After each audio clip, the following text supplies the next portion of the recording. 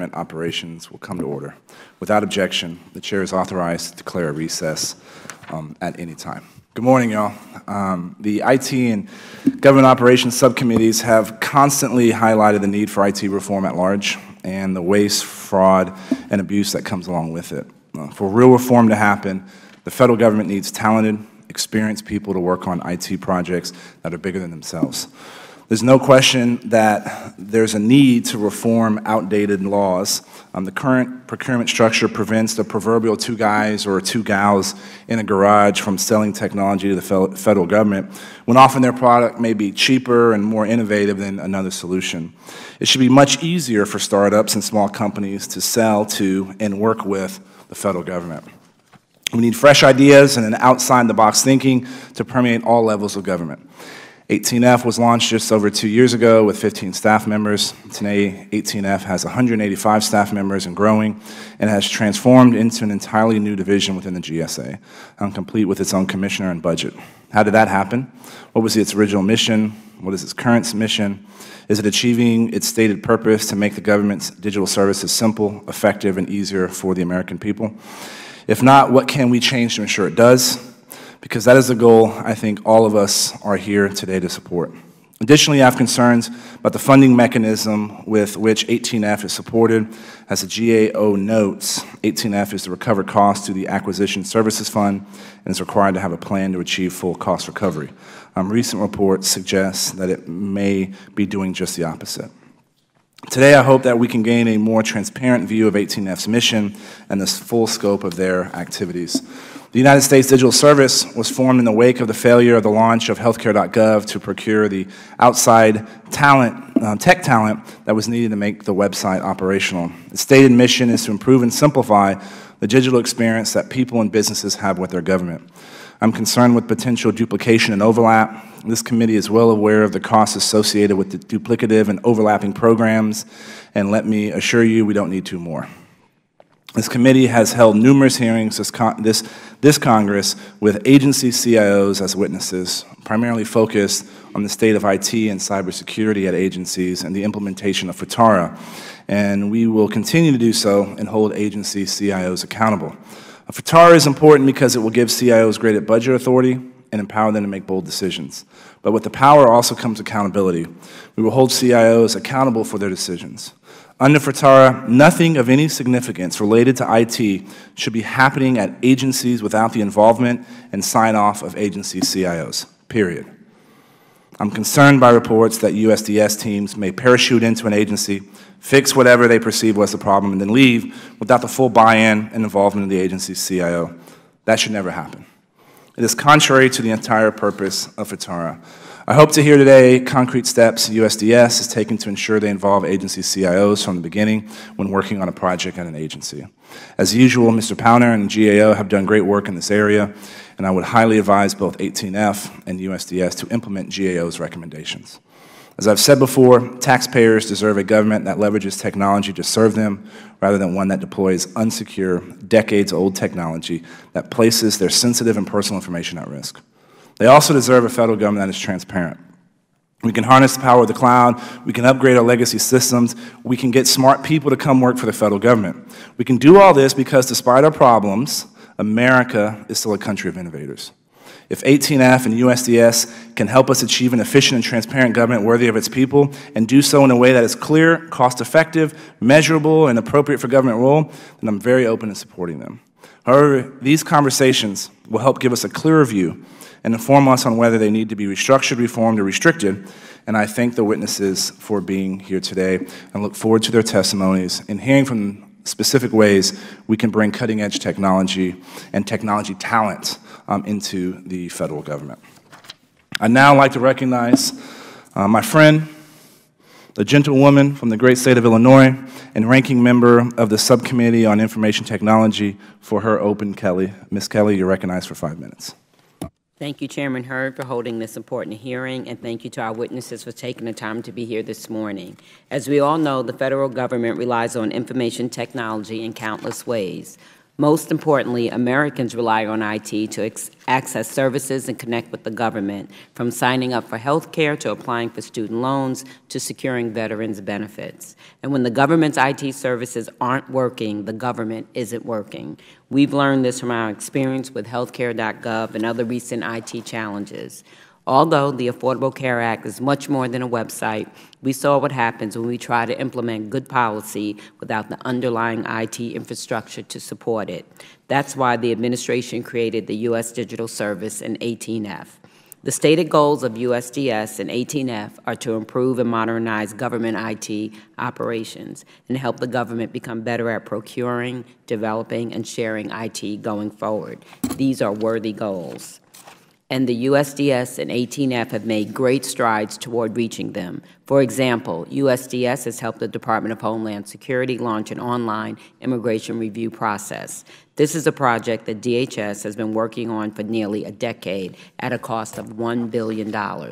18F is in the process of developing a new IT acquisition process that will make it easier for Federal agencies to contract with vendors that provide agile software development services. I look forward to hearing more about these and other success stories today. One of the greatest achievements of the digital service in 18F have been the ability to attract and recruit incredible talent from the tech industry into the Federal Government. At almost every hearing we, we hold, I ask agency heads to list some of their greatest challenges, and without fail, we hear about the challenges of recruiting and retaining a talented IT workforce. I've been impressed by 18F and USDS's ability to open the door to public service in one of our fastest growing industries.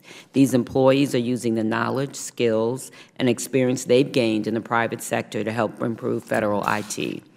In addition to recruiting the best and the brightest in tech talent, we need to continue leveraging the resources and expertise that of our partners in the private sector. They are eager to help bring federal IT into the 21st century. I look forward to hearing from, these, from the witnesses and how the mission of these offices differs from what the private sector offers through government contracts. What value added do these programs bring? How are your roles changing and what limitations do you face? But in order for the digital service and 18F to fully realize their potential, they need to be transparent about the good work they are doing. They should also continue to engage stakeholders and Congress so we can all understand the important role they play in modernizing federal IT and help shape the role going forward. Thank you again to our witnesses for being here and to my colleagues for holding this important hearing. I yield back. Thank you, and I will hold the record open for five legislative days for any members who would like to submit a written statement.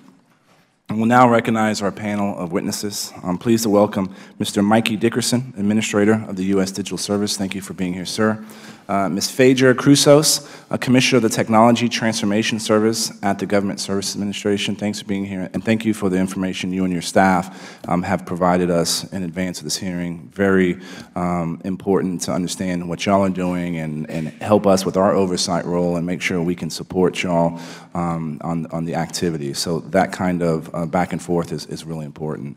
Um, Mr. A.R. Trey Hodgkins, Senior Vice President, Public Sector at the Information Technology Alliance for Public Sector. Thank you for being here.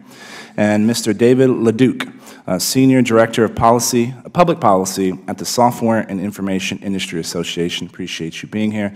And last but not least, and number one in our hearts, uh, Mr. David Powner, Director of IT Management Issues at the U.S. Government Accountability Office.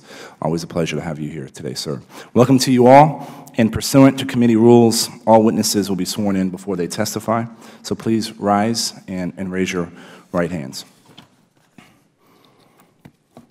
Do you solemnly swear or affirm that the testimony you're about to give will be the truth, the whole truth, and nothing but the truth?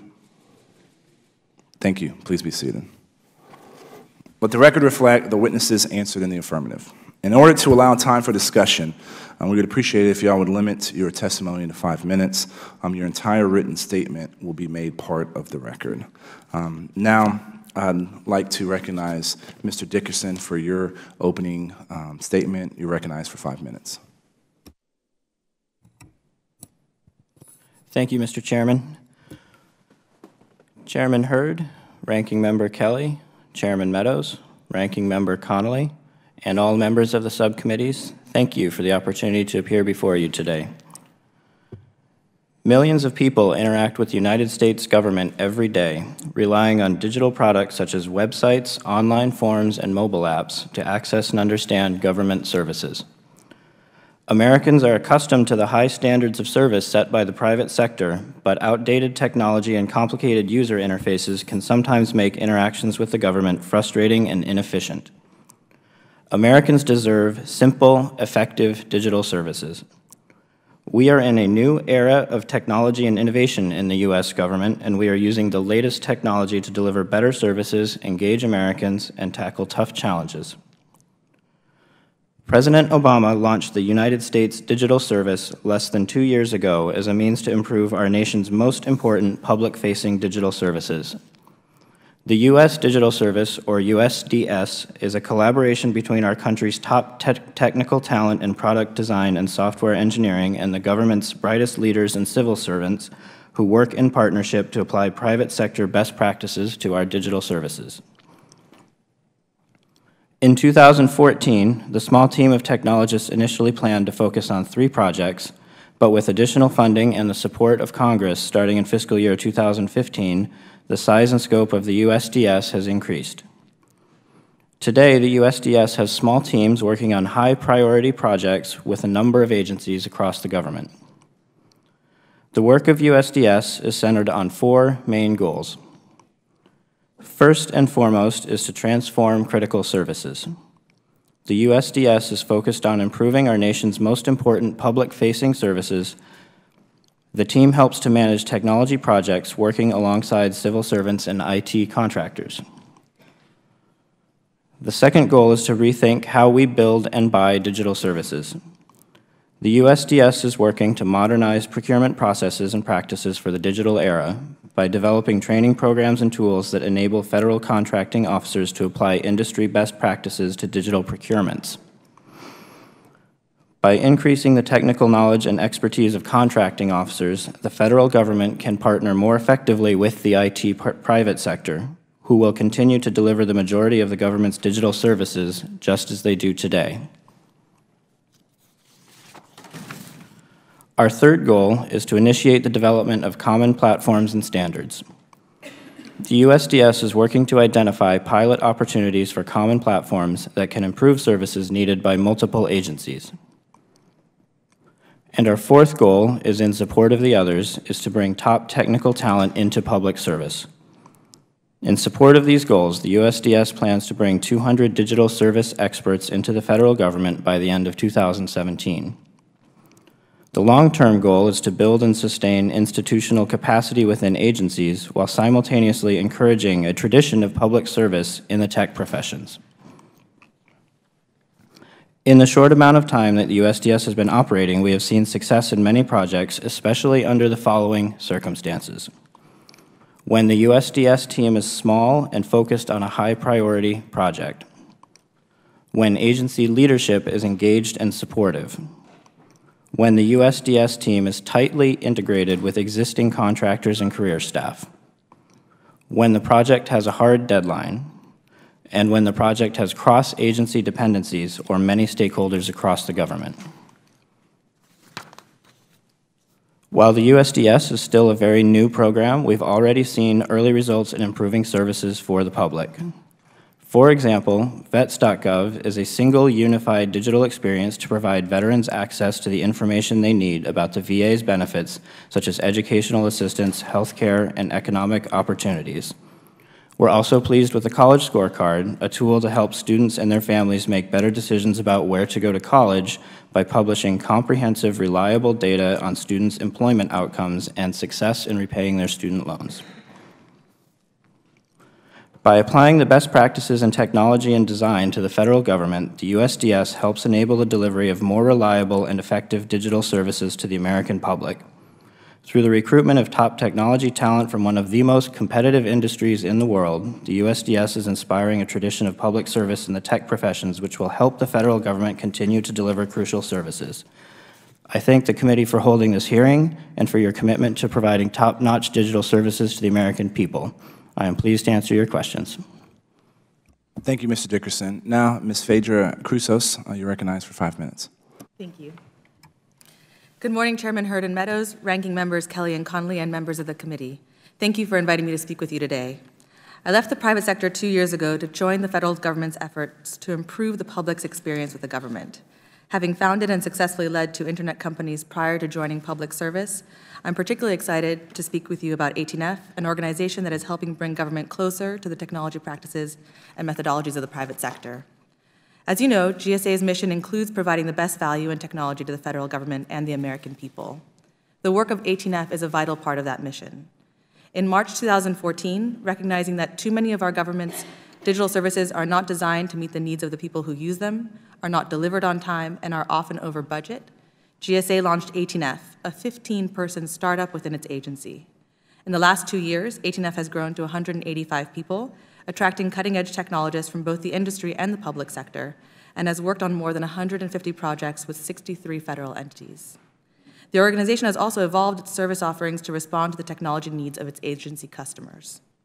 This two-year-old startup is making progress towards its mission of making the government's digital services simple, effective, and easier to use for the American people.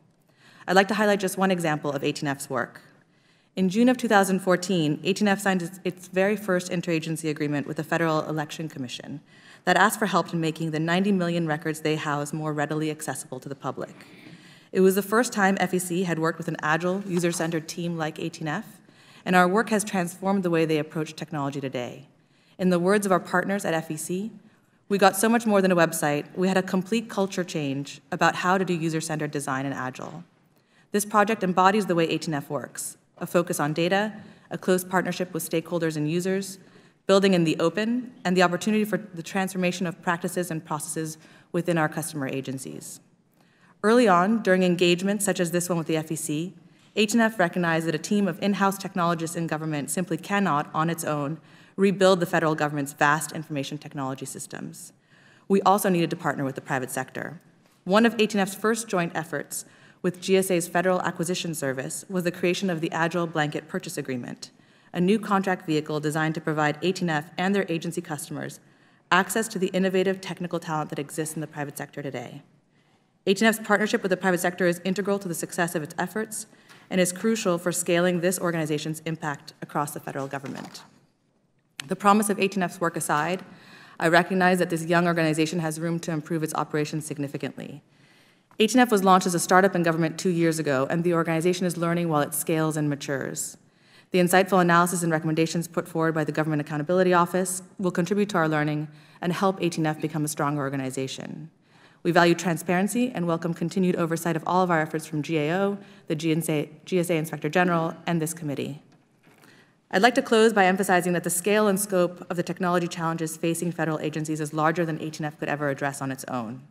As the committee noted in a recent hearing, the need for the federal government to improve its technology is imperative to creating a government that's transparent, effective, responsive, and secure. Addressing the challenges we face in this area demands continued leadership and close partnership with the Office of Management and Budget, federal agencies, and the private sector, which will continue to play a critical role in delivering technology solutions that agencies need. Thank you for the opportunity to speak with you today, and I look forward to answering your questions. Thank you, Mr. Powner. You're recognized now for five minutes for your opening remarks. Chairman Hurd, Ranking Member Kelly, and members of the subcommittees, thank you for having us testify on our ongoing work looking at GSA's 18F and OMB's U.S. digital services. For each of these organizations, I will provide a brief overview, positive developments, and areas that we believe need improvements.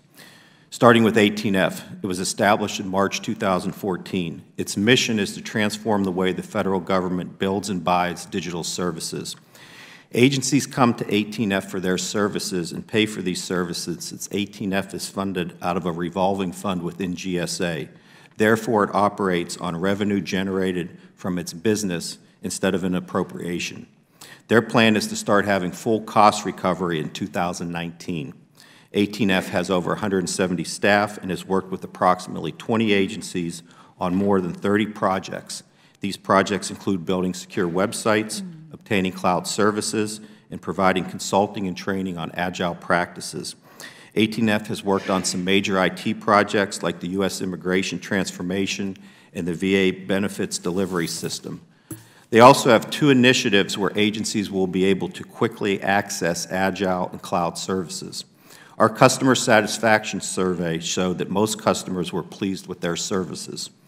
We think they could do a better job on defining outcome-oriented goals and performance measures.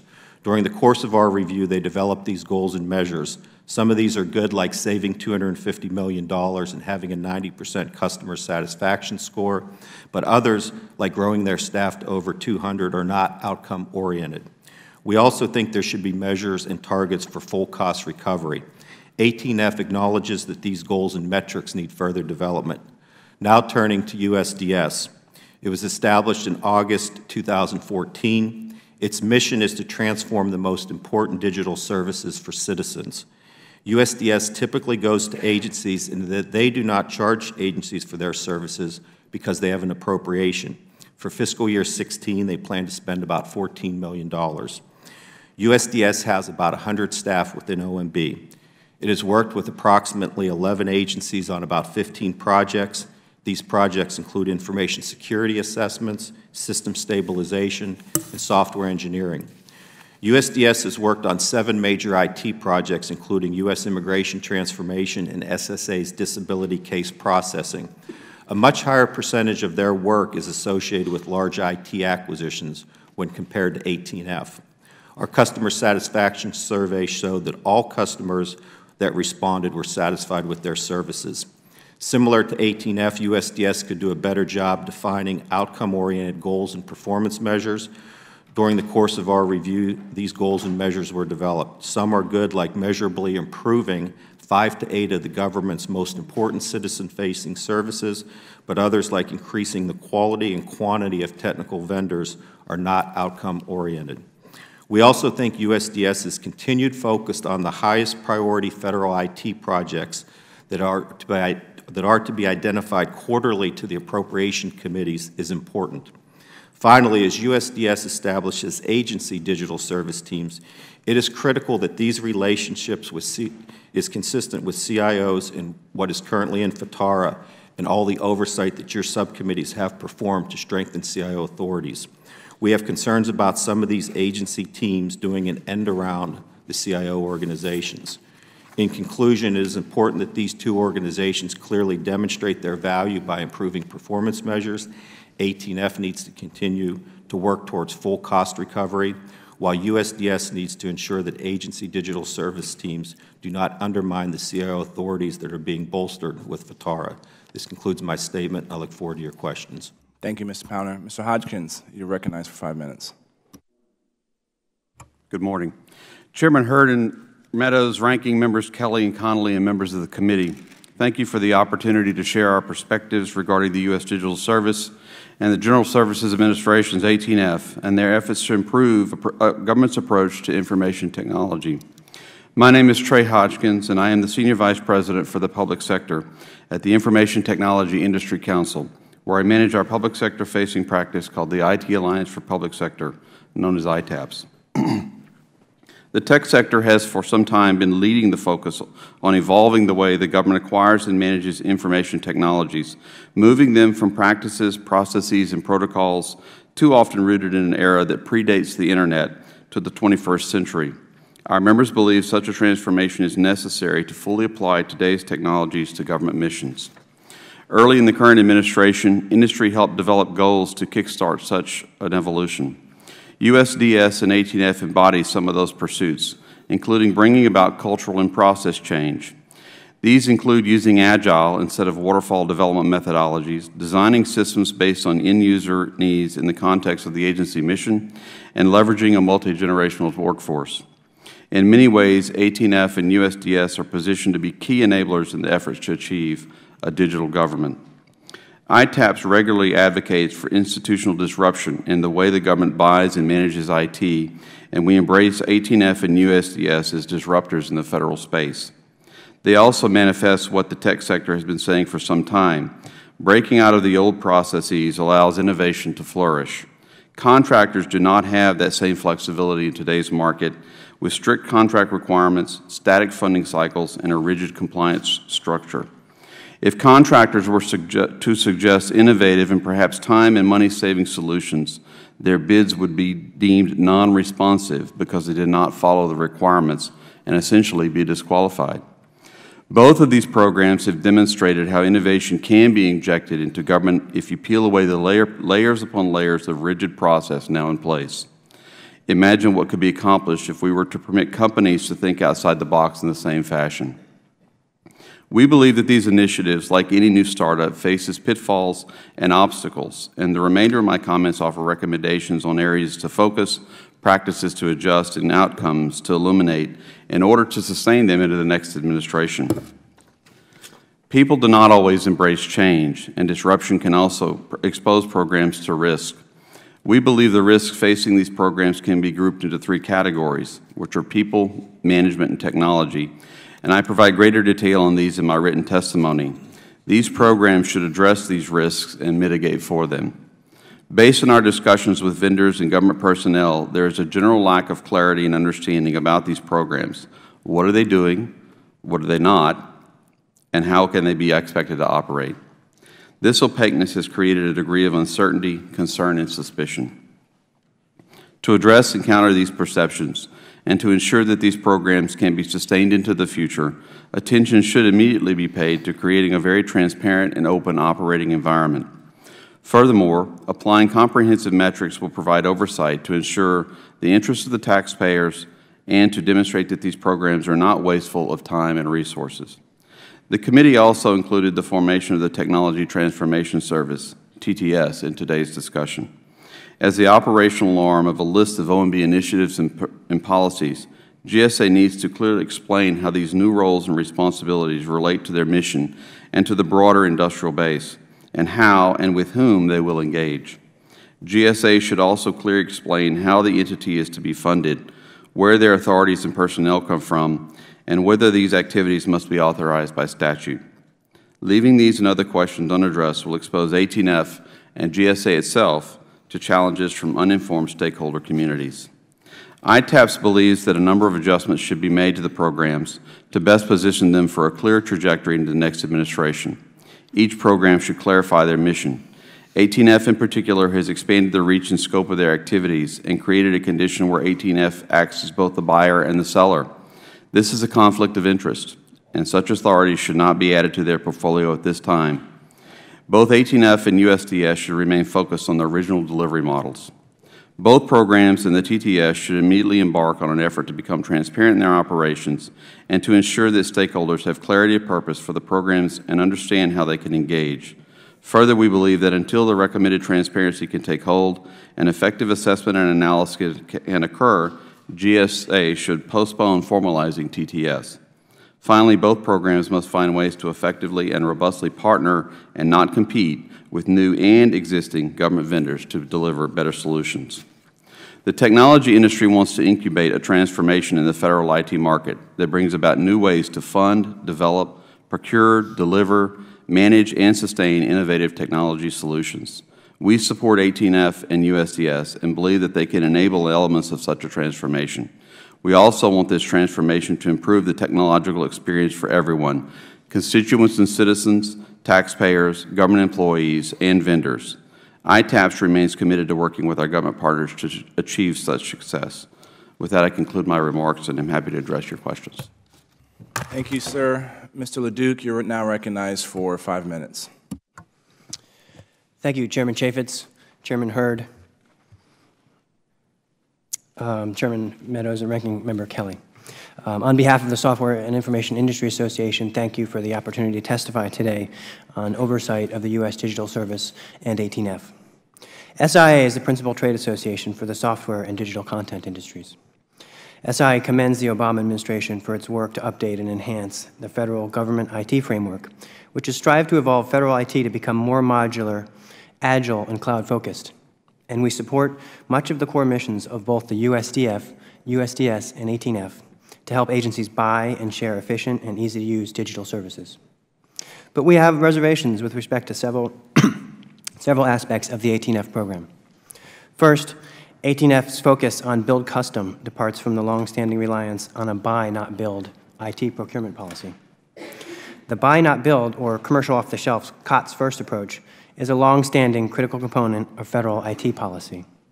This approach is underscored in the revised Circular A-130 and shared services policies put forward by this administration. Choosing vendor-supported solutions recognizes that agencies often lack and are challenged to maintain consistent and necessary IT management staff. They also benefit from economies of scale, among other advantages. When choosing vendor-supported commercial off-the-shelf solutions, vendors are in the best position, working with their agency customers to provide relevant updates, assurances of security, and performance. However, 18F is focusing on a build-custom approach to develop new solutions that are likely to require sustained, meaningful, and experienced support plans, which are not necessarily available as part of the solutions provided by 18F. The importance of ongoing support for agency solutions cannot be overstated, and agencies cannot afford for this to be overlooked. Competition from 18, 18F can only be expected to grow stronger over time for private sector IT vendors, uh, particularly affecting small businesses. Second, 18F has the ability to operate outside of the traditional procurement process with a dual role of design agency procurements and to compete for the opportunity to provide these solutions without sufficient transparency and oversight. 18F combines policymaking functions, operations, and promotion of their own products and services sales. This is an area where there are many questions about the operation of 18F uh, and not many answers. It appears that 18F could be deployed to design acquisition plans and RFPs and then have an opportunity to respond to that RFP, essentially as a sole source consultancy. This end result is not likely to achieve the best value for agencies, and it can ignore innovative ideas from the government. Outside the government, private sector IT solutions providers doing business with federal agencies must demonstrate their compliance with critical security requirements, such as FISMA security certifications or the often onerous FedRAMP approval process. 18F should face no less rigorous standards and scrutiny and not be prioritized over offerings because of its address at 18th and F Street. Additionally, of particular concern, concern to this committee, uh, mentioned by Mr. Powner earlier, um, the risk is that 18F could negate the steps taken to establish appropriate agency CIO oversight established in FITARA. Third, 18F must be required to cover its costs in offering agencies IT services, but transparency is currently lacking in this area as well. 18F should be required to provide a detailed assessment of services provided, as well as revenues and expenses to demonstrate whether they are covering costs. And if they are not, they should be required to provide a plan for cost recovery in the near future. Without a sufficient transparency mechanism in this area, it is difficult to make an apples-to-apples comparison between 18F services and the private sector services. Fourth, the unanswered questions and lack of transparency are particularly concerning given the expansion and recent GSA reorganization of 18F. 18F launched in March 2014, as we know, as a 15-person team of innovators and has grown today to a total of 183 personnel across four nationwide offices. We are concerned the administration is moving very quickly to embed and make permanent the 18F program without seeking input from Congress or working with other agencies and without addressing the issues we have identified. As an internal government IT consulting service, 18F should undergo the traditional oversight and scrutiny by both Congress and the administration to ensure that it will stay within a well-defined designated lane. In closing, following are three recommendations we offer to help guide 18F towards the well-intended goals of the organization. First, greater transparency on cost and process. Second, adherence to the current buy first approach of commercial off-the-shelf products consistent with federal government IT policy. And third, a requirement to function by the same rules as other IT vendors needing to provide for the same level of scrutiny and comparison on costs. Thank you again for the opportunity to testify today, and I look forward to answering any of your questions. Thank you, Mr. LeDuc. I'd like to now recognize uh, Mr. Connolly um, for his opening remarks. Thank you, Mr. Chairman, and I'm sorry I'm late. Mr. Meadows and I were in a a postal reform working group meeting for the committee.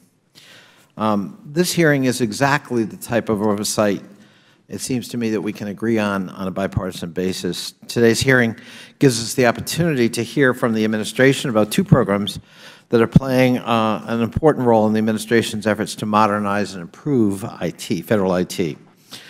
The Federal Government spent, of course, $80 billion in IT in 2015. Mr. Powner, you testified before the full committee just two weeks ago that agencies are spending up to 70, 75 percent of that money on legacy IT systems. GAO's high-risk list includes management of IT acquisitions and operations. Agencies need to modernize their systems and their way of thinking about IT investments. The creation of the U.S. Digital Service in 18F in 2014 brought some critical focus to those issues. In 2014, Congress passed, of course, the FITARA legislation, um, the Federal Information Technology Acquisition Reform Act, better known as Issa-Connolly. Um, one of the most important changes of that bill was to provide agency CIOs with the authority to make spending decisions related to IT in a more streamlined and efficient manner. The law also requires CIOs to certify progress on ongoing IT investments. Congress gave CIOs that authority and responsibility for a reason.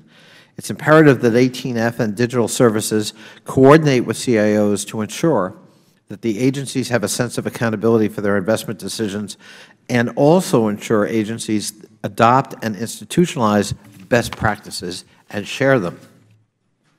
There are many success stories over the last two years uh, that we look forward to. Uh, Ms. Ms. Chrousos and Mr. Dickerson highlighting in their testimony. It was refreshing to see that the GAO found positive customer satisfaction with both 18F and digital service.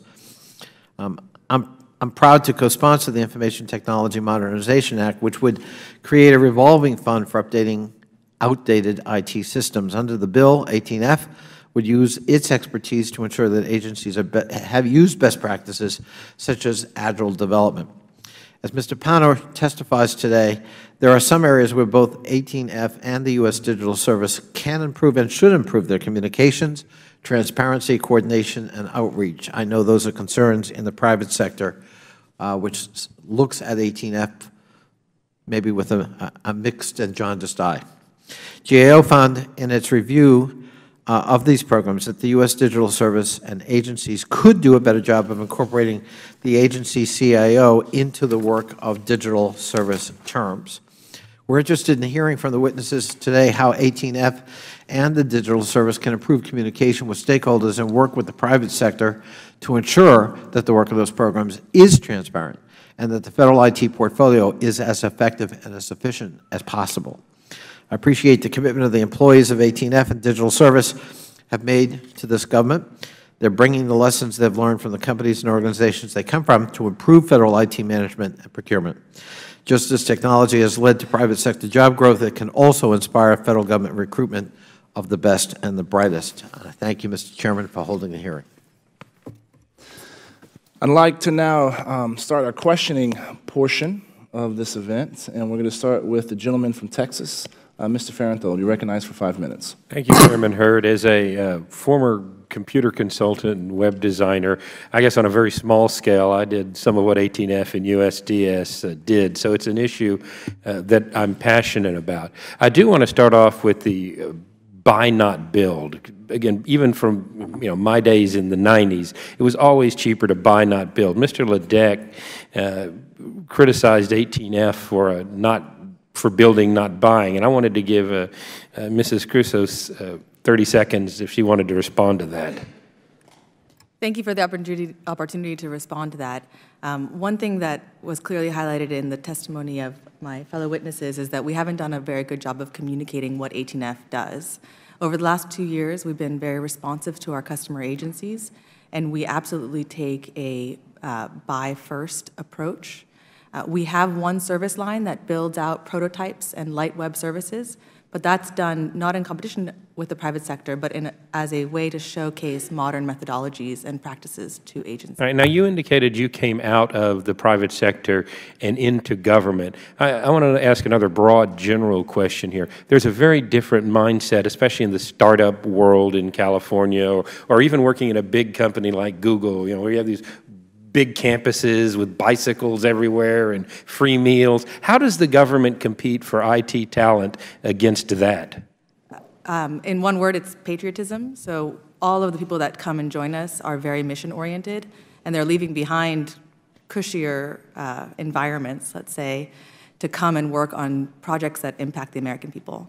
And you look at the technology and startup world, and there is a uh, mentality of uh, of, of risk-taking, and there's a huge push, the, the the buzzword is disruption. You change fundamentally the way things are, are done. Now, obviously, the government is not in a position to take risks, and I think you can do technology without risks. Banks have indicated that. We get much, I, I can do my banking on my phone now and feel relatively uh, safe about it. Uh, but how do you bring into the government a culture of disruption as that's how we really are going to fundamentally transform how things uh, are done. And I'll let, uh, I'll let you answer that, uh, Mrs. Chrousos, and then uh, I'd also like to hear from uh, Mr. Leduc on that. Thank you. Um, I think that's the delicate balance that we're always trying to balance. Um, how do you bring innovation but still make sure that it complies with all of the government policies is something that we that I personally think about every day as the Commissioner of the Technology Service and as I try and mature my organization. Um, I think 18F faces this, the digital service teams and agencies face this, the innovation labs and agencies face this.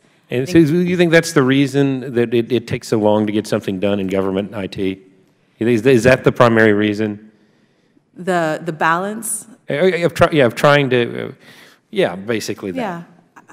I- believe it's a delicate balance. Even the private sector, large companies in the private sector haven't figured that out either. Okay. Um, Mr. Leduc, did you want to, I'm sorry to rush you, I just Nope. only have five minutes. No, I mean, I think that makes a lot of sense. I mean, we're supportive of, of the, of the goals of 18F and, and, you know, the, their approach to, as they say, hack the, hack the bureaucracy. Um, You know, that's necessary in many areas, and, and we, we want to see more innovation. We want to see more, more small startups brought in, so. Okay, great. And then, so Mr. Dickerson, Mrs. uh, Chrousos, can you each tell me what you consider to be your group's biggest success story? Just, you know, 10, 15 seconds here. Sure, it's very, it's very difficult to pick just one, but uh, one success story that we're proud of is uh, vets.gov, which is a uh, unified experience where veterans can get access to services that they need. Okay, and what about uh, 18F? What, what do y'all consider your biggest success? Our biggest success is the Agile Blanket Purchase Agreement, which is bringing in Agile talent from the private sector into government. All right, so Mr. Dickerson, let's talk, you talked about vets.gov. The, uh, your top 10 priorities include um, electronic health records for uh, Veterans Health Information Systems and Technology and Architecture. That's uh, VistA medical appointment scheduling system, and Veterans Benefit Management System. I have had countless hearings, and my number one source of complaints from my constituents is poor service from the VA, many of which are IT-related, even, you know, even to the point of suicide calls going to voicemail. Where are we going on that? Why can't we get that done faster, and what are y'all doing to fix it? Uh, Thank you. We're, uh, we're uh, completely sympathetic and also feel just as acutely as you do uh, the opportunities for improvement in all of those services at the VA. Um, I have a small focus team at the VA uh, as we speak uh, today, working on a few uh, targeted um, opportunities in that service space. Okay, that doesn't sound like it's big and bold enough to solve the problem. Uh, So I would urge you to do that. Is- Is uh, 18F doing anything with the VA at this point? We had, we had worked in partnership with the VA Digital Service Team about a year ago, and we worked on a small uh, component of their bigger picture. All right, well, I, I think we need to sit down with the VA and you guys to see if we can get y'all working together because, uh, again, I think the, the poor performance of the VA is a national disgrace that needs to be uh, addressed. I have a lot more I could do, but there are a lot of people here and I'm out of time, so I'll yield back. I'd like to recognize the ranking member, Ms. Kelly, um, for five minutes of questioning. Thank you, Mr. Chair. Two weeks ago, the full committee held a hearing on the federal government's use of outdated legacy IT systems. We learned that the federal government spent about 80 million on IT last year, most of, most of which was spent on these old systems. Clearly, we need to find a better path forward, and that's where the digital service and 18F come in. Mr. Leduc, in your written statement, you said, and I quote, "We support much of the core mission of both the USDS and 18F." What role do you think the digital service and 18F can play in the Obama administration's efforts to modernize federal IT? Thank you for that question. Uh, As I mentioned, we, we're very supportive of, uh, of the different thought process that 18F brings, um, and, and their goal bringing in innovative IT companies, small IT businesses, um, and integrating that into agency solutions, working alongside of agencies to help them um, in designing their procurements and deciding what types of technology they need. We think 18F can be particularly helpful in that role, consulting to agencies to help them uh, obtain the right technology. Okay. Does SIA believe that the digital service and 18F are having an overall positive impact on modernizing the IT acquisition process? Yes, I think we could say, you know, overall positive, but as I mentioned in my testimony, we just um, want to make sure that it, it, you know, it it stays within, a, you know, a well-functioning lane to uh, assist the agencies. Thank you. Mr. Hodgkins, in your written statement, you said, and I quote, "In some ways, 18F and USDS are positioned to be key enablers in these efforts to achieve a digital government." In what ways do you think the digital service and 18F can enable the federal government to move into the digital age? Well, they're already serving as disruptors, and as was just discussed around the cultural change that's necessary, we actually have to change the thought process of the bureaucracies and how they look at technology, and then that translates into how they buy it. Um, and they're leading edge on many of the elements of those different equations that have to be changed before we can fully incorporate technologies. Thank you. Does ITAPS believe that the digital service and 18F are having an overall positive effect on modernizing the IT questions? The same question. I think in certain areas, yes. I think that um, in some areas, as we discussed, it's hard to tell because of the opaqueness of some of the things they're doing. And then there's still a lot of stuff left on the table that we can all continue to focus on. Thanks. Ms. Chrousos, 18F's mission has always been to promote efficiency and innovation in the way the federal government approaches IT. Can you provide a few examples of how the agile development is leading to more innovation and cost savings in government? I know you did one, but we want more than one. We want more than one. That's wonderful. Um, we worked on uh, the veterans, uh, sorry, we worked on the Department of Education's college scorecard, which, uh, which unleashed 25 years of data that had never been seen before by the public.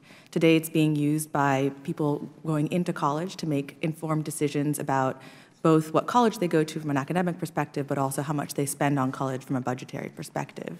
That was an example, um, that was a very small, light build that took over, that took three months, and it showcased agile development, user-centered design, open data, the usage of APIs to the Department of Education, allowing them to get a better idea of what that looks like so that when they go out to vendors and the procurement community, they can actually talk about these things and, and, and weave that into their RFPs.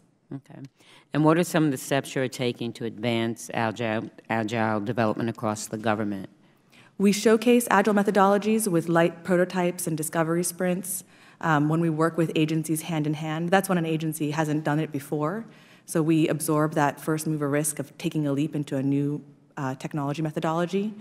We also are developing procurement vehicles. One, the first one is the Agile Development BPA, which uh, used code review by our engineers um, to evaluate Agile vendors.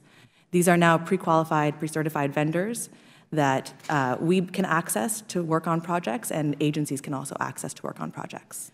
And two questions. What are some of your big, biggest successes, and can you identify some of the failed IT projects that 18F has helped to turn around? Um, one of the one of our biggest successes is a, is a turnaround, in my opinion. Uh, we worked with HHS to rewrite an RFP um, for a child welfare platform. Uh, we believe that the platform was going towards a large kind of waterfall uh, singular buy, and we were able to break that down, insert, the, insert modern technology methodologies like Agile, user-centered design, two-week sprints, open data, open code um, into the RFP. We hope that this yields savings for HHS, and we hope that it also yields savings um, for others that can take this, this RFP, and, which is out in the open, and can use it for themselves. Can I ask one more question? Go ahead. um, for Mr. Dickerson and Ms. Chrousos, what, what do your agencies bring to the federal IT innovation that can't already be accomplished by the private sector? I think the most valuable role that the USDS brings into the government uh, is the ability to uh, coordinate and work across all the organizational boundaries to solve what are often very complicated problems with a lot of stakeholders that involve a lot of parts of the agency. Thank you. And I believe that um, we act as, a, as an ecosystem where talented people from the private sector can come in and learn how to adapt their practices to government and then show government how to do that. Thank you, and thanks for the extra time. I yield back. Now my honor to recognize, recognize the distinguished gentleman from Michigan, Mr. Walberg, for five minutes of questions. Thank you, Mr. Chairman, and thanks to the panel. Um, uh, Ms. Chrousos, uh, as you indicated in your testimony, uh, in two years, uh, uh, 18F has grown from uh, 15 employees to 185, some significant growth. You also indicated part of 18F's mission is to help federal agencies buy, build, and, and deploy technology the way the private sector uh, does today. Um, hopefully with efficiencies that the private sector does in many cases. Uh, can you describe uh, the scope of work anticipated by 18F and how that work overlaps or duplicates capabilities uh, present in the private sector or being performed uh, by the agencies themselves? Thank you for the opportunity to answer that question. Um, I think we need to be, do a better job of explaining our service offerings to um, both our stakeholders and the private sector. We do not intend, and we do not, I, in my opinion, we do not compete with the private sector.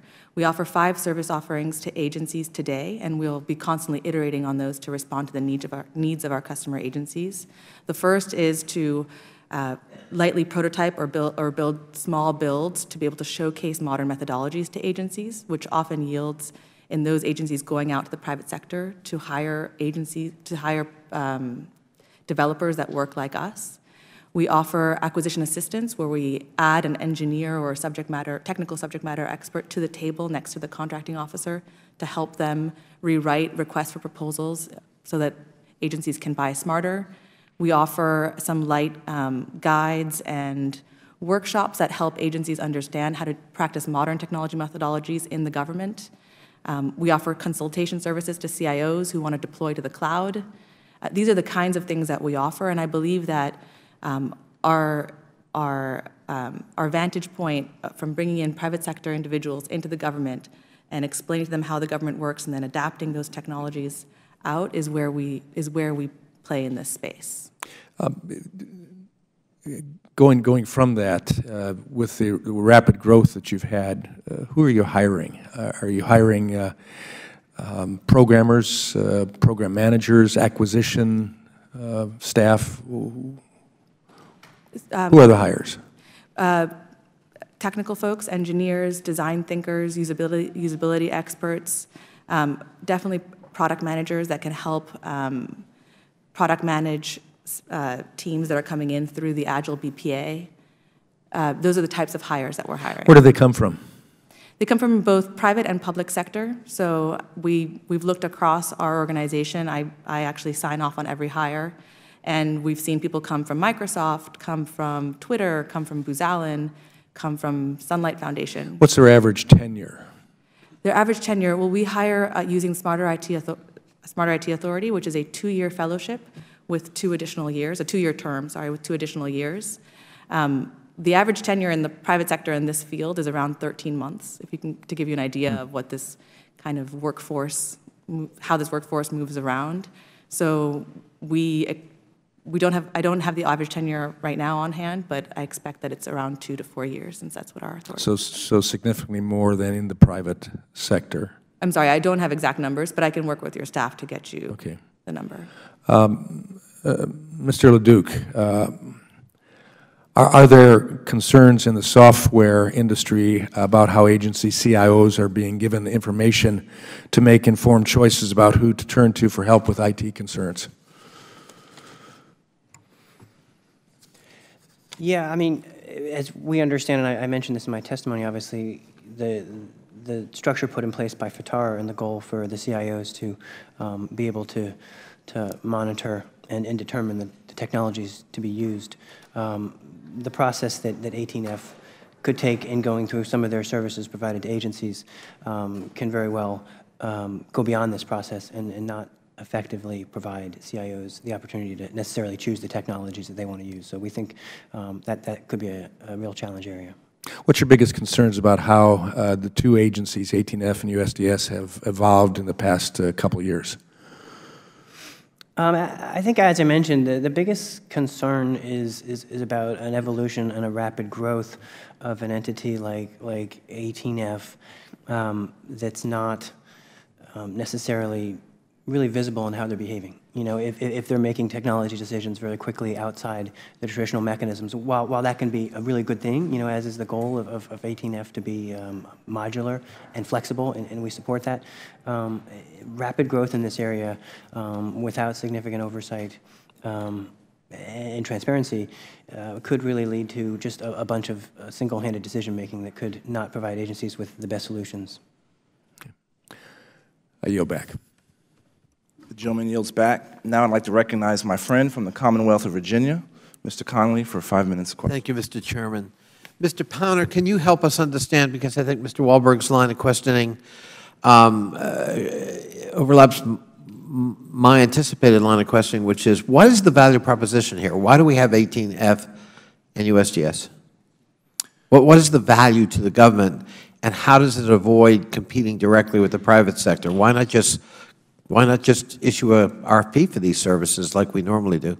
Well, you, you could clearly do that. I think uh, when I look at 18F and you look at where you could go procure really quick, agile services and consulting and that, there's some value in that, no doubt. Uh, have, having agencies innovate on a small-scale basis and expand it, that makes a lot of sense with 18F. Mr. Dickerson, we've always supported a SWAT team out of the White House that could parachute in, say, help save healthcare.gov, and we know there are a lot of problems with large acquisitions. There's a top 10 list that goes to the appropriation committees. You guys got an updated report yesterday. We need to fix those large projects. There's a lot of opportunity there. The legacy side of things, not just acquisitions, but swapping out these old legacy where we have a lot of data conversion, application conversion, that's where USDS could really help the Federal Government.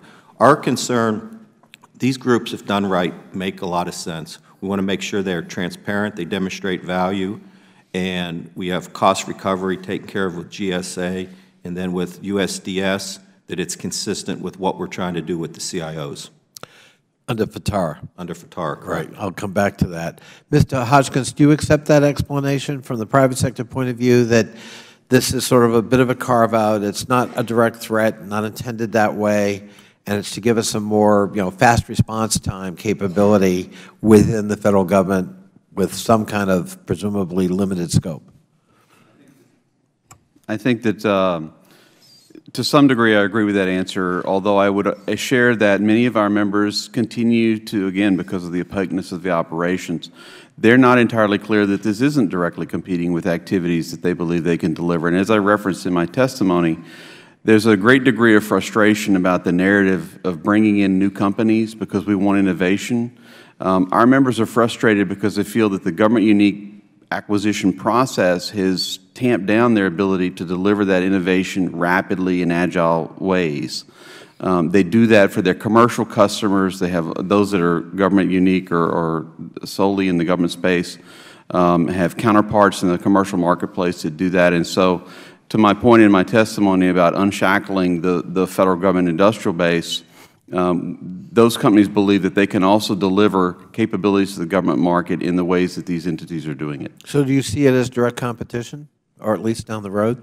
I think that we have to figure out how to break these molds that are out there that we, you know, for some of them are decades old, and I think this is a great way to start doing that. But I think we also have to spend a lot of time and attention in taking the best practices they create and translating that, because as they've noted, a lot of what they've done has been to help frame frankly, relatively smaller projects.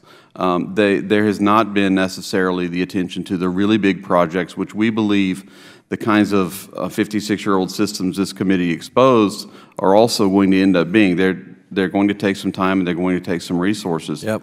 And we have to figure out how to take the good work that these groups are doing and bringing in those capabilities and then translate that into that scale we need. Yes. Ironically, apparently we have mastered how to maintain such 56-year-old systems in the Federal Government. We just don't know how to replace them. Um, so we're going to need help from the private sector, no question.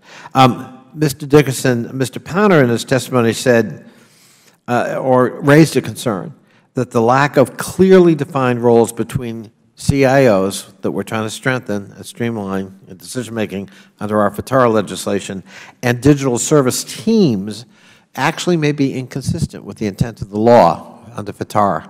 Could you respond?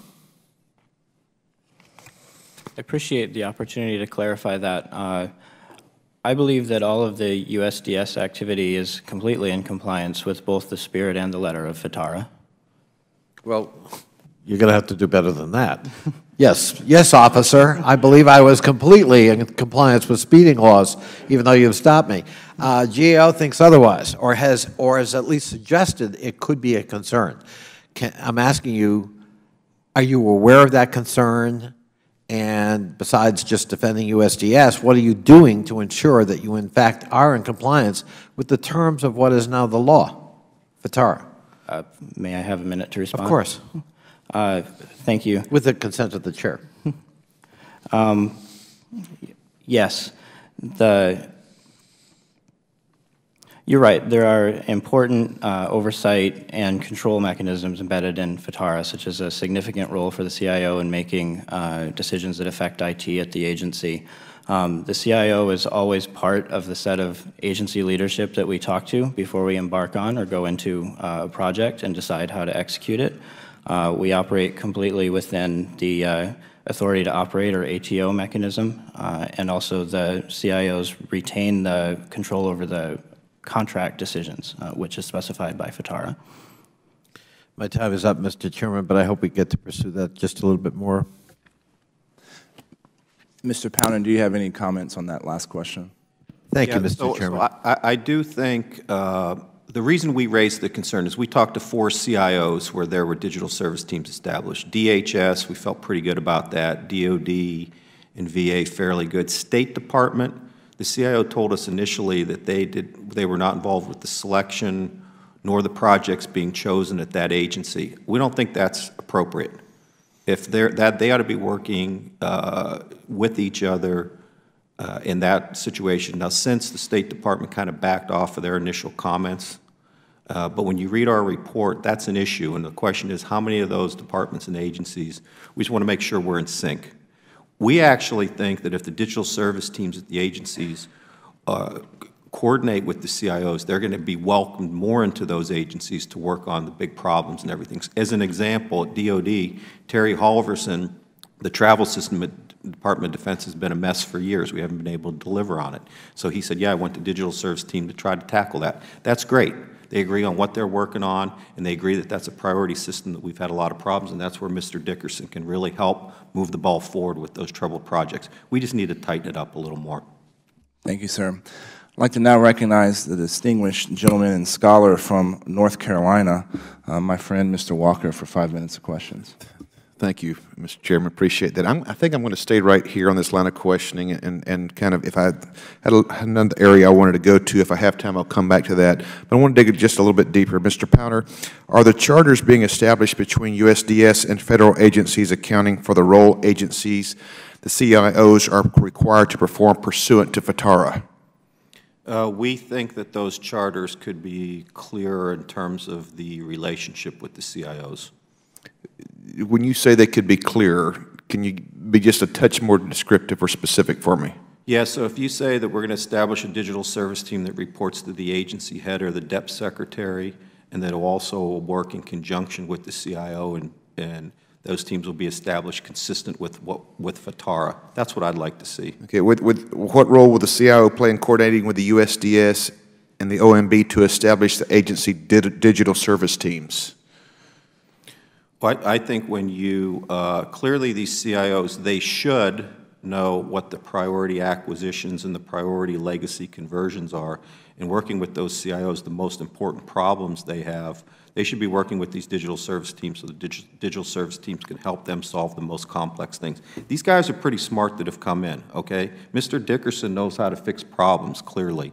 We want them focused on the big problems that we have in this government because there's a lot of them in the IT world. Sure, absolutely. Who is responsible for making sure these CIOs know? You said they should know. Who's, who's responsible? Whose job is it to make sure that's communicated? Well, I think that the CIOs, uh, clearly Tony Scott plays a role in that as the federal CIO. But when you look at the, what we're doing with FITARA, if the CIO is to capture all IT spending in a department and then be responsible for the execution of this spending, that would include what we're doing with the digital service teams. That's under the umbrella. That's what we're trying to fix with FITARA, that there's not a lot of rogue operations going on. And I'm not saying, we know that's happening with other services that are being acquired at agencies. We want to get our arms around the IT spend, and we want to get the appropriate governance over that so we got the right security and the right delivery. All right, so when a USDS team comes into an agency, who do they report to? CIO, Mr. Dickerson, Tony Scott, someone else? Who is it? I think there are multiple options that could work. I mean, you could actually have them, you want to elevate their position, have them report to the DEP secretary, fine. But we got some CIOs that don't report to the DEP secretary. So I don't think that would be appropriate, as long as they're both reporting at least equally, or we, there's multiple arrangements that could work. We just don't want to have, we don't want to undermine the authorities of the CIOs. I, I appreciate your frankness on that. Mr. Dickerson, you touched on this a little bit earlier, and I want to get back to, if I have time here. Do you think the charters adequately account for the laws established by FITARA? Our charters have evolved over time as we're learning how best to document and set up these teams. Uh, I completely embrace Mr. Powner's recommendation that we make it more clear and explicit going forward. Uh, our later charters, as noted in the GAO report, uh, are more explicit about that we interact with the CIOs on a day-to-day -day basis. Okay. Uh, GSA funds 18F through Acquisition Services Fund which operates on the revenue generated from the GSA's business units and not appropriations from Congress. Either Ms. Chrousos or Mr. Powner, can you tell me uh, or give me a list of these business units? Would you like to? Oh, uh, at GSA, sir? Yes.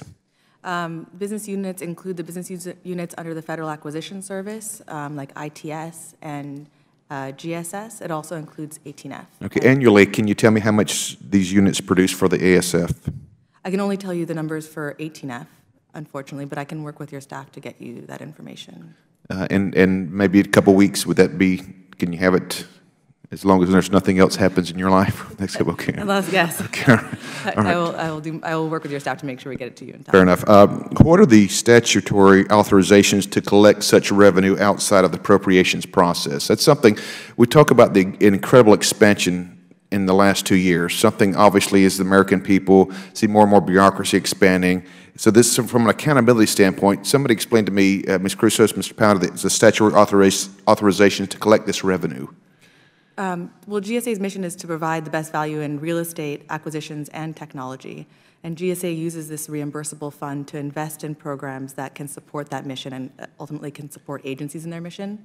So, okay, yeah. I've got 20 seconds, 20 something seconds. Why is it, or let me ask it this way, is, do you think it's intentional to have this revenue placed outside of congressional jurisdiction, uh, control and oversight? Is that is it intentional, or, or why is it? I, I, don't believe it's intentional. It's I I'm I'm I, I don't believe it's intentional. Then, then then then why do you think it is? I'm sorry, I'm not familiar with the origins of the fund. I I'm just familiar with my own finances. I apologize. If if you have an answer. Then. With that, my time has expired, Mr. Chairman. Thank you.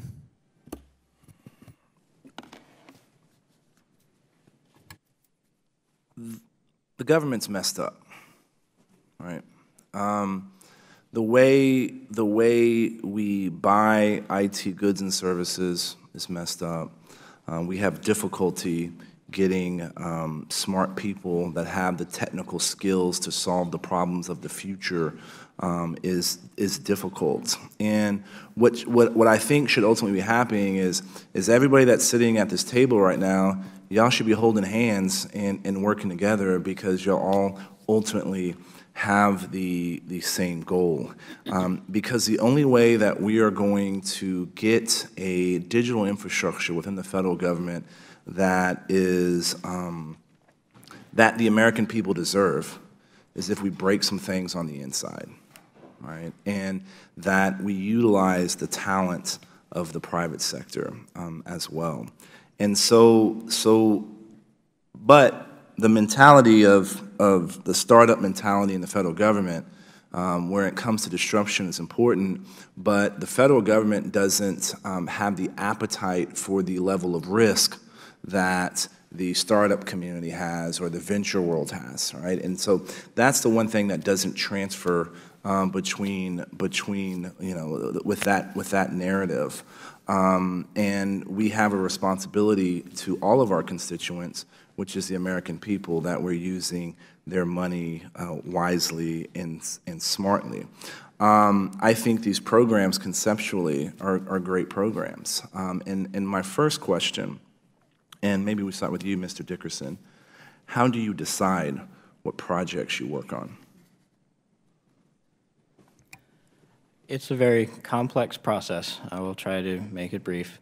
Um, I spend a tremendous amount of time, uh, and my other members of the leadership team spend a tremendous amount of time gathering information from all over the government, uh, the agency leadership, uh, stakeholders everywhere. Time Um, out. Can I, can I make a suggestion? That work is already being done. There's a GAO high-risk report. That high-risk report identifies um, some of the key projects that are a billion dollars or more that are having issues, right? Um, under FITARA, we have, we have established um, a number of areas. Data center consolidation, you know, th- something as simple as that. We've seen four agencies realize $2 billion in savings. You know, a, a man and a team of your talents would go a long way. Um, the, the CISO of the Social Security Administration needs a whole lot of help, right? And, and this is a, a entity, you know, they should be able to say, hey, when they get grilled here in, at this committee about not following some of the basic practices of good digital system hygiene, they should be able to reach out to you, or y'all should be able to call the next day. Is, is that concept, is, is that not, the, is, grade my paper. Does that make sense? Is that, you know, the flexibility uh, and the way that y'all could be used? As you say, the OMB and the Office of the Federal CIO conduct broad uh, portfolio oversight of all of those programs across the entire government, and we absolutely rely on that information as much as we can. Because there's nobody in the federal government that understands this better than Tony Scott, right? And, and Tony Scott knows where the problems are and should be able to, to, to, to, to direct y'all. But when I look at um, some of the list of, you know, um, successes, um, as somebody said earlier, these aren't the tectonic changes that we likely need um, in order to see our governments um, get into uh, the current century, let alone the next century, right? Um, Ms. Chrousos, do you have an opinion? About our prioritization process? Mm-hmm. 18F is a demand-driven fee-for-service organization, so our prioritization process um, uses a prioritization rubric that looks at both impact and viability, but we cannot parachute in or we cannot kind of pull in um, customers. They have to come to us and want to work with us. When we look, when things come into our organization, we look at impact, which for us is number of people it impacts as well as potential cost savings. And then we look at viability. For example, is this something uh, better done by the private sector? Is this something that we have the talent for? Is this something we should send to the Federal Acquisition Service or back to the, that agency's CIO? That's how we prioritize. Mr. Chairman, would you yield for a second? I would. Just by way of follow-up to your point, but Ms. Chrousos, okay, great, and, and Ms. Dickerson, but the chairman was asking, but we already have a list of very high priorities, from GAO's high-risk list and some of the priorities we set out in FITARA. Do you also look at those priorities as you're looking at the projects you're going to get involved in? The projects that we get involved in are usually small reference products, like Mr. Hodgkins referred to, that showcase modern methodologies to agencies, and then they go and procure larger teams to actually tackle the big problems. So we don't look necessarily at that GAO high priority list. We don't believe that's our function. Thank you, Mr. Chairman. Hmm. Um, Let's talk a little bit about IT procurement. Uh, IT procurement is something I spend a lot of time talking about, and, and I've said uh, a number of occasions, IT procurement is not a sexy topic. Um, IT, I, I, IT procurement, you're not going to hold a rally uh, for IT procurement or a parade. Um, however, you know, this, this agile delivery service blanket serv- purchase agreement concept um, is, is a concept that I think could change this, right? And, and if we fix this, um, Ms. Chrousos, I will hold a parade on IT procurement and you will be the grand marshal. Um, But can you please expand on this Agile Delivery Service and its use of blanket purchase agreements with vendors? Yes, if you had told me as well that IT procurement uh, was something I'd be passionate about two years ago, I would have told you you were crazy. Ms. Chrousos, could you move this Oh, closer to I'm you? sorry, but I believe it's, um, I personally believe it's the single uh, most impactful way to impact what we're trying to do in the government and to move the, go- the government forward in technology. Um, the Agile Blanket Purchase Agreement sh- shows a lot of promise because for me, it, it shows what happens um, in terms of breaking down some of the procurement barriers that Mr. LeDuc and Mr. Hodgkin spoke of. When you put an engineer next to a contracting officer and you let them speak and you let them get their minds together. We took engineers from 18F and contracting officers from the Federal Acquisition Services, and we put them together and we gave them a problem. Can you get us, can you find us a way to access really innovative, modern technical talent? And they said, yes, if we look at this and say, instead of asking for pages and pages of documentation and past history, but instead we ask businesses to submit live code in an open GitHub repository, and then we have engineers look at that code and assess it, we'll be able to get to better talent. So how do you, take us through how you choose the vendors, how many vendors are there, and how does 18F work with agencies to choose one of these vendors? So um, we, the blanket purchase agreement is like a pre-selection of vendors. Um, So we work with engineers and contracting officers to go through the documentation the way that you would with any uh, procurement vehicle. That vehicle um, is, you can then put task orders against that vehicle. Right now, agents, we can access the Agile Blanket Purchase Agreement. We actually issued a task order this week to a small business. Um, And agencies can use the Federal Acquisition Service to access this same blanket purchase agreement. Mr. Powner, does this exist in other parts of the federal government? Is this unique? How do we, look, uh, the VA uh, would, would benefit from this ability. I'm sure Mr., the, the organizations that are part of, of Mr. Hodgkins and Mr. LeDuc's uh, association would love to be able to participate in these kind of things. Your, your opinion on this? So clearly, I think, uh, you know, this is tied to FITARA, to your grades on incremental development. Agile is one way of going really small, right? Uh, These vehicles, if done right, uh, and we're inclusive of the people who should be doing this, I think could really work. I mean, we need, talking about shock the system, we need more agile development. This could actually help a lot. I actually think, and I've said this at times on incremental development, I think Congress and OMB, if you want to fix this big bang waterfall approach, don't fund anything unless you deliver within the year and have a wave-out process. You know what, that would change a lot. You're not going to get funding either through the OMB process or through the appropriation process. We've talked to appropriation committees about this.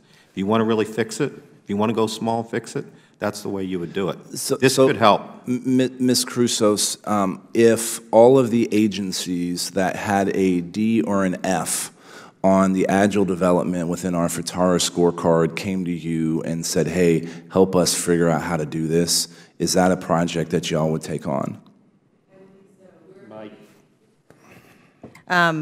We've been asked by other agencies to help them build out their own Agile blanket purchase agreements. We're not trying to hoard that information. Our documentation is actually out in, in the public um, on GitHub, so you can access, you can build your own Agile BPA at your agency if you so desire, or you can come through our organization. And that's something we welcome.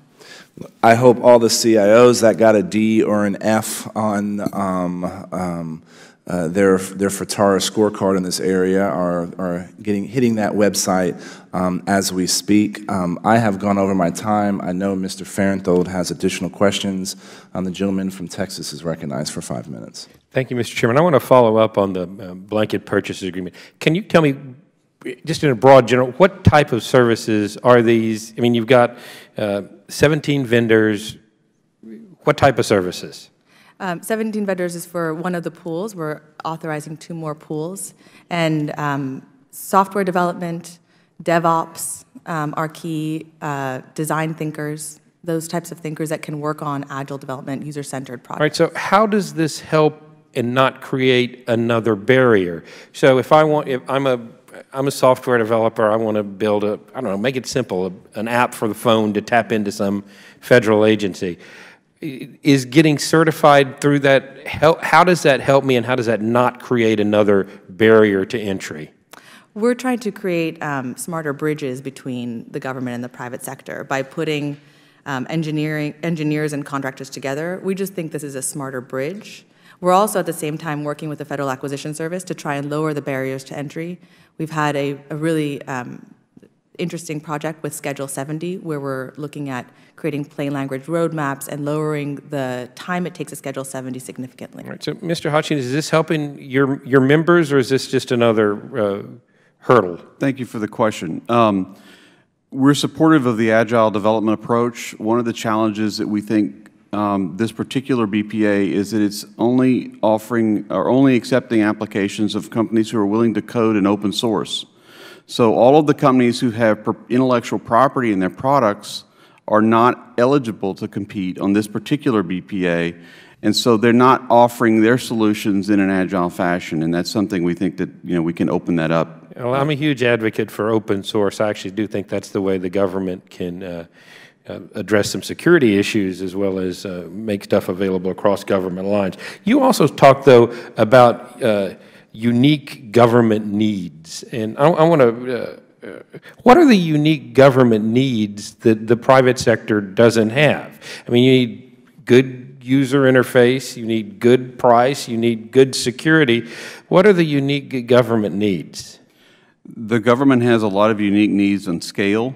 Uh, it has a lot of unique needs in compliance that, and it has a lot of unique needs regarding the way the company is expected to operate and shape its business model. All right, so Ms. Chrousos, you want to talk about what unique uh, government needs are as well, because I, I think a lot of, uh, they're not as unique as people want to want to make them to be, other than size. Yeah. I don't think the government's needs are that unique, and I actually don't think agencies' needs or sub-agencies' needs are necessarily that unique as well. I think if you look across, and we've been trying to see patterns coming in of uh, incoming requests, we see patterns of common technical components that are needed throughout government. It's an area that we should we should have smart people looking at um, and looking at how to leverage to uh, leverage efficiencies. I mean, that, that's traditionally the GSA's role is to take advantage of the size of government to make things cheaper. I, yes. I, having used the GSA website, I don't know.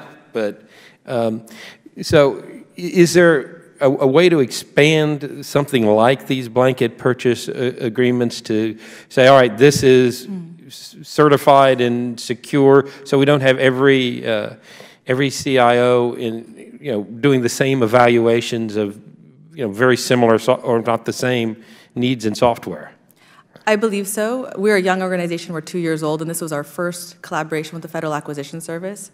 But one of the reasons we created the Technology Transformation Service is to bring some of these ideas and some of these people together at GSA to do exactly what you're talking yeah, about. I think that creates a level of expertise and in, in, bureaucrat, kind of a CYA, oh, this is GSA certified. I, I don't have to be afraid to uh, buy this and go through a, a through a lengthy per, uh, purchase process. I did have one other, uh, I think it was your group that was working with the census. We had a hearing yes. uh, on the census. Can you uh, talk a little bit about what uh, your role was and what uh, value you feel we provided to the Census Bureau? That's a, another uh, agency within this committee's direct jurisdiction.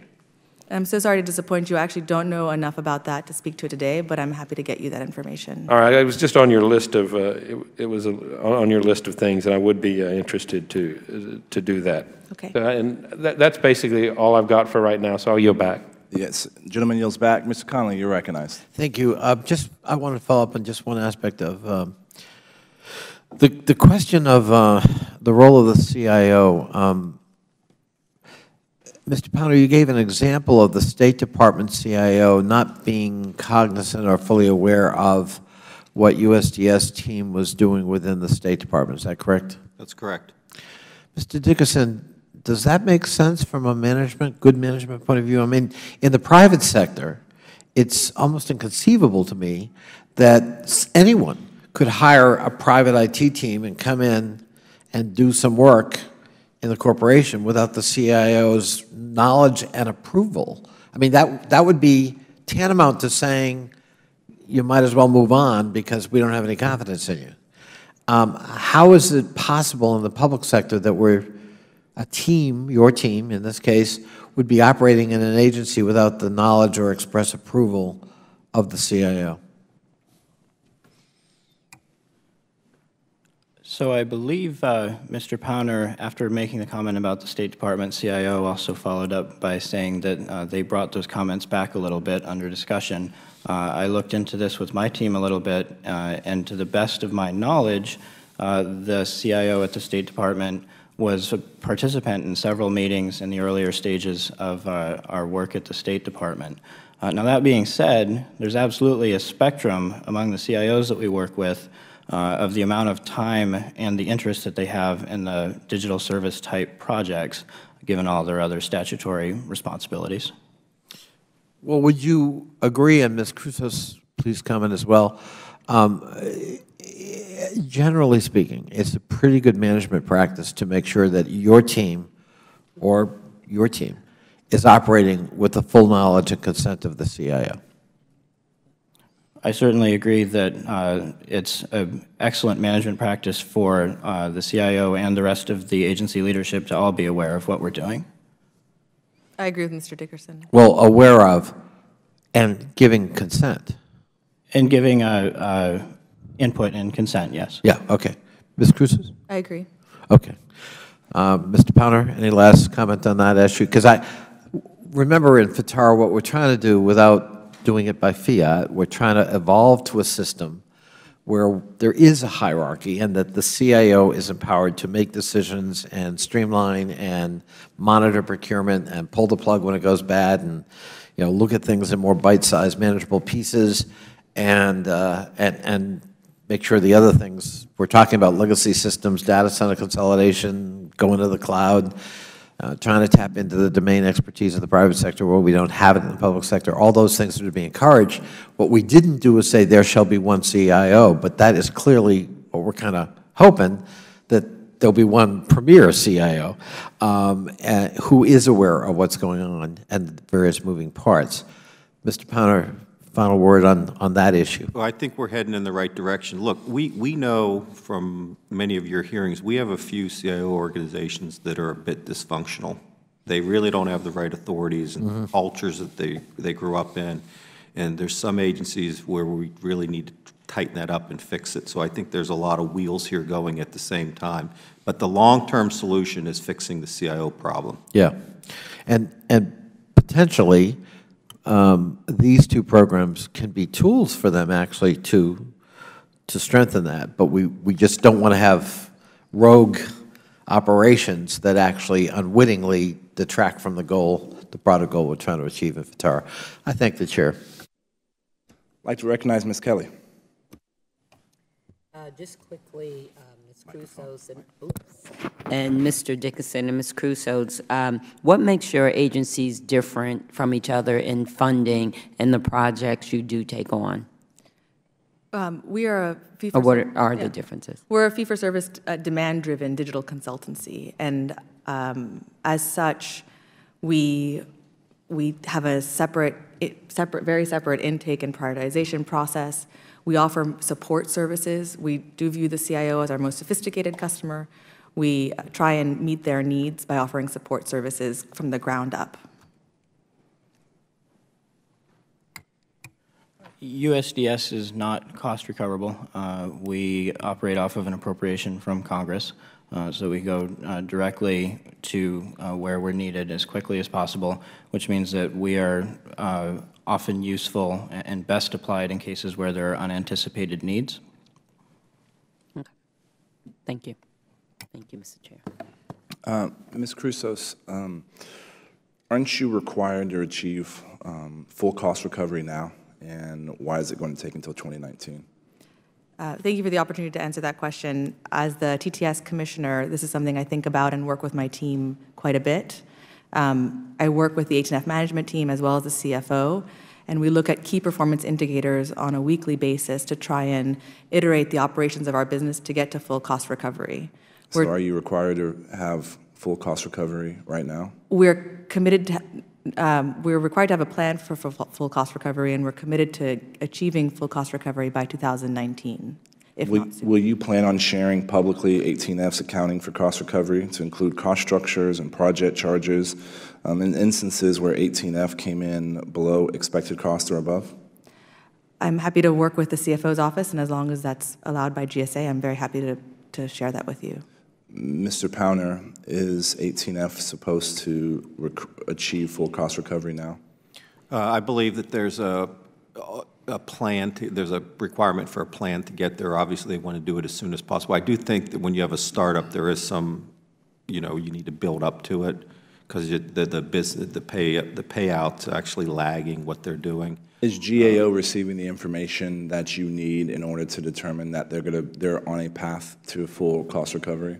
Yes, we have received that. I think by 2019, that's the plan. I mean, they got a worst case, best case, most likely case. There's some good numbers there, uh, and that is the most likely case to recover by 2019. I think our report says a worst case is around uh, 2020, 2022. Good copy. Um, Mr. Dickerson, um, USDS is directed to provide quarterly reports to the committees on appropriations in both the House and Senate describing current USDS teams and projects that include the top 10 priority programs. Has that been provided to the appropriations committees?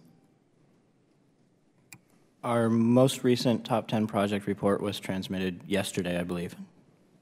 Now, is that um, the same document that we, this- we received um, titled um, Report to Congress 10 High Priority Programs? That's right. Um, Is that for OMB or is this directly for USDS?